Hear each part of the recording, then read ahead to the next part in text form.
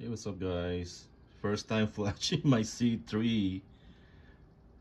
I uh, I installed a nuclear grade with an ancient Agnos, so I'm getting the um, the Agnos update failed.